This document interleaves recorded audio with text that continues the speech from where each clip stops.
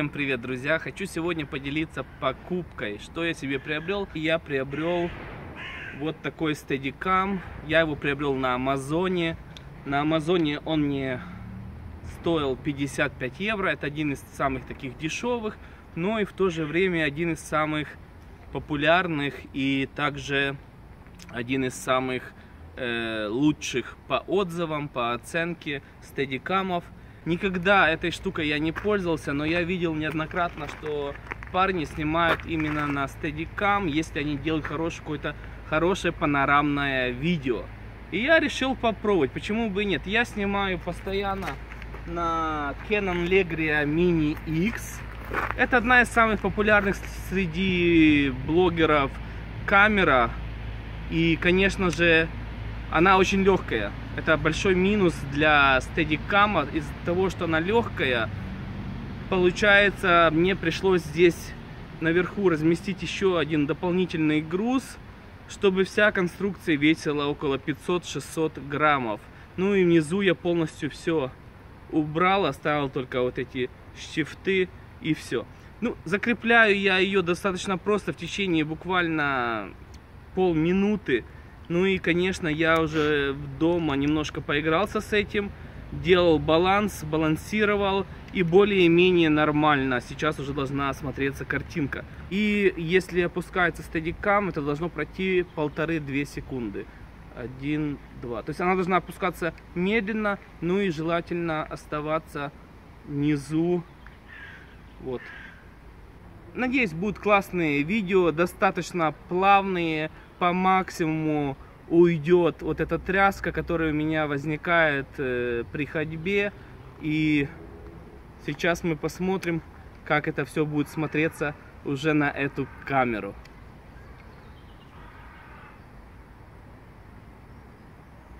Кстати, для баланса можно еще проверить камеру вот направо-налево, пошевелить вверх-вниз. И вот она достаточно стабильно стоит практически нету никаких колебаний. И вот я ее уже включил. Вот. Ну и, конечно, если снимать, тогда должна получаться плавная картинка.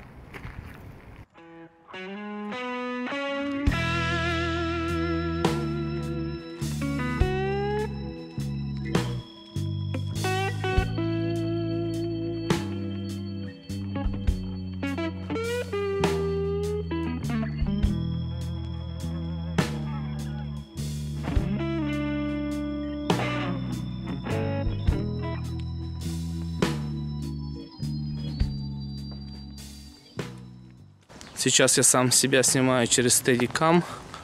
Ну и, конечно, посмотрим, насколько стабильная будет картинка.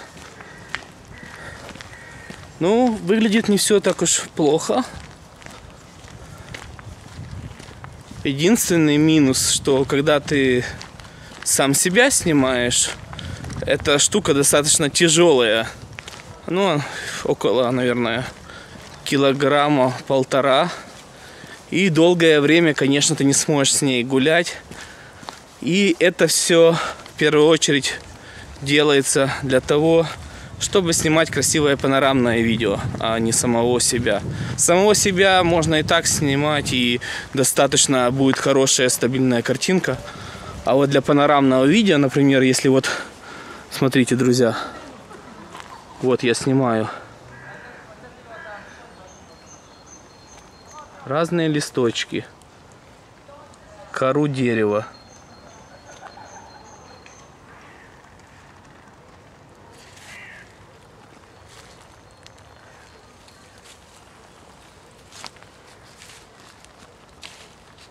Это все должно выглядеть достаточно плавно.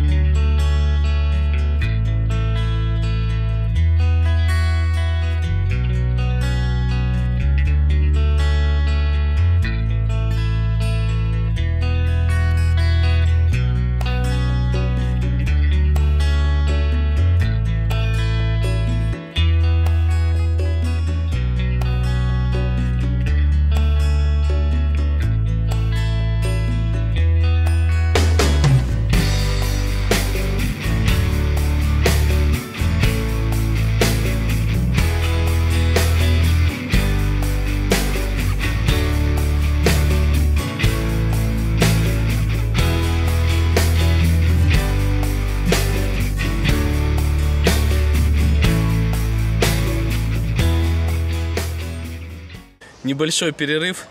И я протестировал немножко стадикам. Надеюсь, вы увидели разницу. Ну и, конечно же, хочу еще попробовать в экстремальных условиях. То есть сейчас я пробегусь по вот этой красивой тропиночке. Залезу на дерево, спрыгну с дерева с одного на второе. Ну и посмотрим, как она будет себя вести. Шучу. Пошли.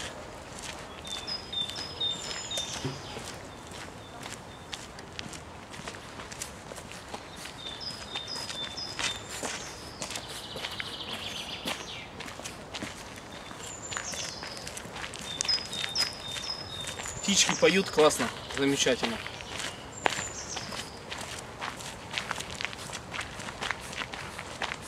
Нашел я место, где я сегодня проведу весь свой оставшийся день. Да-да, оператор, не смейся. Это песочница, друзья, это песочница. Настоящая песочница. И мы сейчас туда направимся с вами.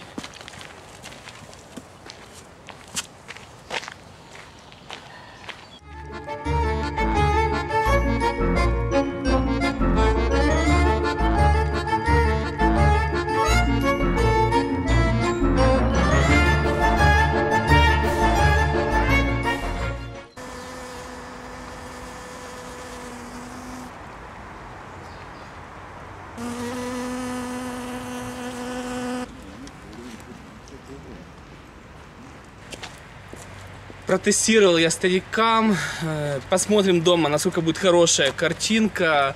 Ну и, конечно, друзья, напишите свои комментарии, если кому-то понравилось это видео. Также видео, картинка при помощи стадикама. Напишите, мне будет очень интересно, тогда я буду побольше снимать с этим устройством. Всем желаю хорошего дня и хорошего настроения, друзья. До новых встреч. Пока! you tap your feet. You're on the city beat. You're really looking slick. I think your shoes are sick.